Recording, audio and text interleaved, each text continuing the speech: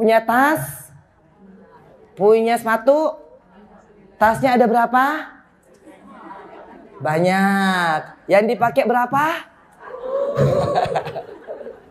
Sepatu ada berapa? Yang dipakai?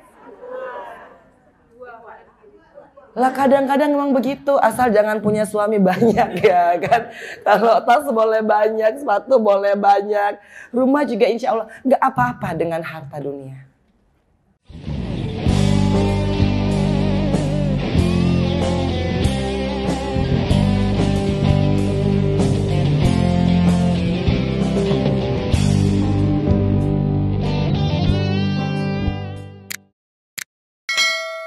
Assalamualaikum warahmatullahi wabarakatuh. Ya Allah makasih loh ini ada uh, sis aku sih sebenarnya sister Besti Tiljana gitu ya Mbak Megi gitu ya dan kita sedang berada untuk kajian majelis taklim. Tiljana. Uh, Soleha. Solehatul ha Halimah. Oke. Okay. Ya. Solehatul Hakimah ya Bismillah ya pokoknya mudah-mudahan hari ini kita bisa belajar bersama-sama dan istirahatlah nih ya Bismillah kita akan lanjut belajar bersama Angelina Sandang.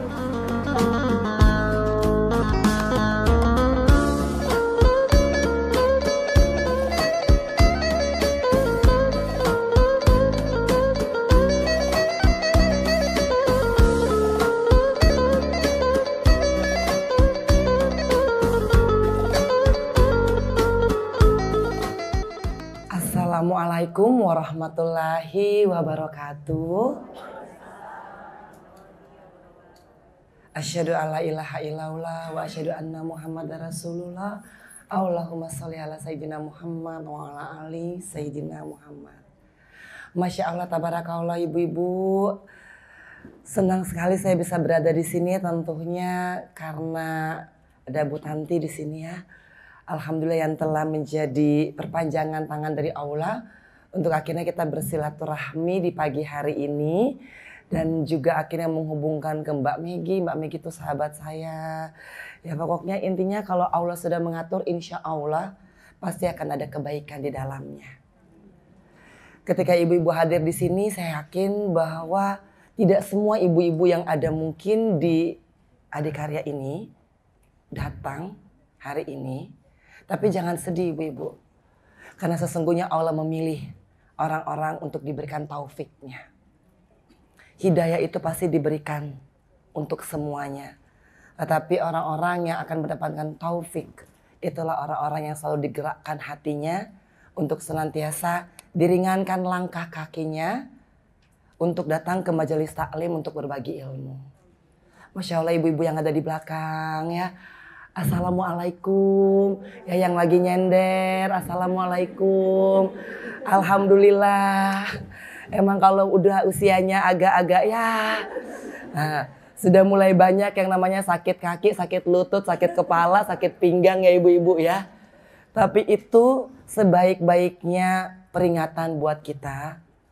Bahwasannya apa pun yang ada di dunia ini akan hilang lutut dulu yang bisa naik tangga nggak pakai sakit. Eh sekarang mulai hilang fungsinya ibu-ibu ya. Tiga tangga kita udah mulai itu aduh kok ngilu gitu. Berarti Allah senantiasa mengingatkan kita bahwa yang akan kita bawa ketika kita innalillahi wa inna ilahi rojiun hanyalah hati kita. Badan kita ini akan ada waktunya Makanya ibu-ibu saya senang banget ketika kalau dibacakan surat Al-Baqarah. Sesungguhnya surat Al-Baqarah itu satu surat itu. Isinya tuh luar biasa. Apabila ibu-ibu tadi tergetar hatinya. Mungkin kadang-kadang kita ini membaca iya. Tapi kita kurang menikmatinya dan kita kurang merasa bahwa itu adalah suaranya Allah. Kalau ibu-ibu tanya tadi Mbak MC ya, Mbak MC saya panggilnya ya, ya Allah. Boleh. Ah, Mbak MC. Ah, ya Allah, Alhamdulillah, ya Allah mudah-mudahan Mbak Mira ini masuk surga ya, insya Allah ya. Uh, tapi jangan hari ini ya Mbak Mira ya, uh, jangan hari ini ya. Uh, nanti kan kalau enggak kehilangan MC ya untuk majelis taklim Solehatun Hakimah. Alhamdulillah. Jadi surat Al-Baqarah itu sesungguhnya dari ayat 1 sampai yang tadi kita bacakan isinya banyak sekali yang luar biasa. Apabila ibu-ibu membacanya dan memahami. Ibu-ibu saya boleh tanya kapan terakhir ibu sholat sambil nangis?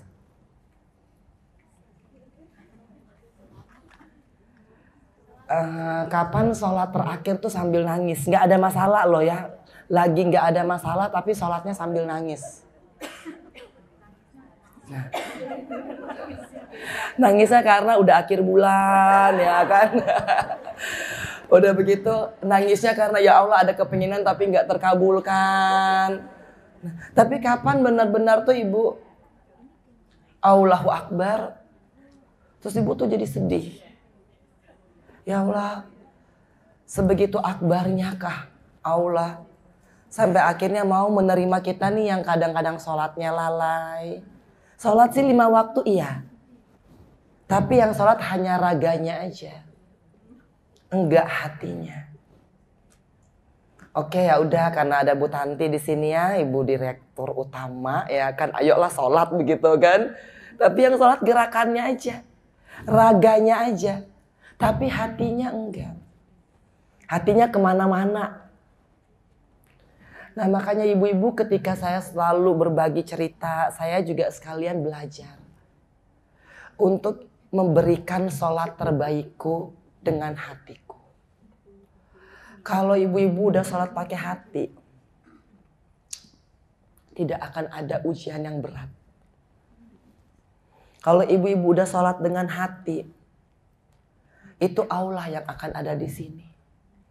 Jadi kalau misalkan ibu-ibu kurang duitnya, ya kan, kurang kasih sayang suaminya saking suaminya mungkin sibuk. Apalagi kan Bu Tanti sebagai ibu direktur utama pasti yang namanya direktur utama kan kerjaannya mungkin istri itu jadi nomor dua karena memang akhirnya. Bener ya Bu Tanti ya? Nggak apa-apa tapi itu adalah ibadah. Karena sesungguhnya memang seorang istri adalah penguat suaminya hakul yakin saya kalau istri itu memang dijadikan dan ditakdirkan oleh Allah Subhanahu wa taala untuk menguatkan tidak hanya suami tapi keluarga. Makanya kalau ibu-ibu yang lagi punya suami alhamdulillah pergunakanlah itu sebagai ibadah. Karena saya pengen dapetin ibadah seorang istri.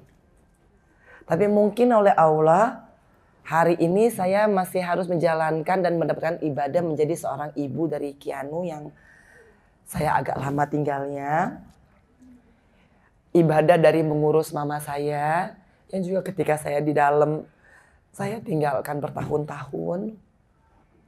Dan ternyata Allah tuh udah menakdirkan ibadah kita masing-masing sesuai dengan apa yang Allah inginkan. Makanya ibu-ibu tadi pada baca surat Al-Kahfi. Surat Al-Kahfi ayat ke-10. Ayat ke-10 Aduh alhamdulillah nih Bu Tanti nyiapin ini kan ah, contek dulu ah gitu kan. Ah.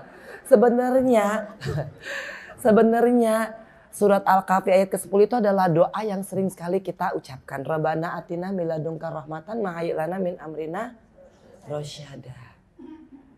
Jadi kalau tiap hari Jumat insya Allah kita bacakan surat Al-Kahfi, pertolongan Allah itu akan luar biasa ke kita. Ditambahkan dengan Allahumma yasir wala tu'asir, Allahumma yasir wala tu'asir, Allahumma yasir wala tu'asir, Allahumma timla nabil iman, Allahumma timla nabil islam, Allahumma timla nabi husnil khotimah. Insya Allah ibu-ibu, kita diberikan iman. Kita diberikan sakratul maut yang insya Allah mudah. Dan yang kita inginkan apa sih ibu-ibu sekarang ini? Ibu-ibu suami udah punya, betul apa betul? Betul. Suami soleh, alhamdulillah ya. Alhamdulillah. Kalau ada ngesel-ngeselin dikit nggak apa-apa ya ibu-ibu ya. ya namanya hidup rumah tangga nggak mungkin mulus. Seromantis-romantisnya suami ibu-ibu pasti ada satu ketika itu ngeselin. Ya kan dan itu harus diterima sebagai ibadah. Uh, udah punya rumah ibu-ibu? Alhamdulillah. Punya anak? Punya mobil? Punya cincin berlian? Punya cincin berlian? Belum. Punya tas? Punya sepatu? Tasnya ada berapa? Banyak. Yang dipakai berapa? Sepatu ada berapa? Yang dipakai? Lah kadang-kadang memang begitu, asal jangan punya suami banyak ya kan. Kalau tas boleh banyak, sepatu boleh banyak, rumah juga insya Allah nggak apa-apa dengan harta dunia. Yang penting surat An-Nisa ayat 100 itu dilakukan wa may yuhajir fi sabilillahi yajid fil ard muragomang katsira ma saat.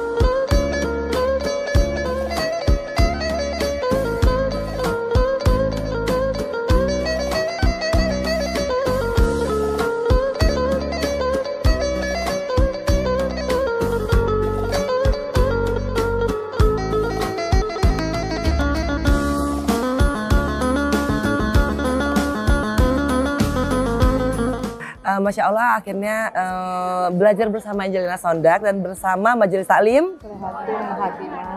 Masya Allah dan Ibu Ketuanya adalah Ibu Direktur Utama Ibu Tanti. Makasih ya Masya Allah. Dan ini juga ada ibu-ibu yang dari yang uh, di root sebelumnya ya. Uh, mudah-mudahan kita bertemu kembali di acara belajar bersama Angelina Sondak. Bahas Al-Quran yuk. Jangan lupa di subscribe, like, share, dan komen. Waalaikumsalam.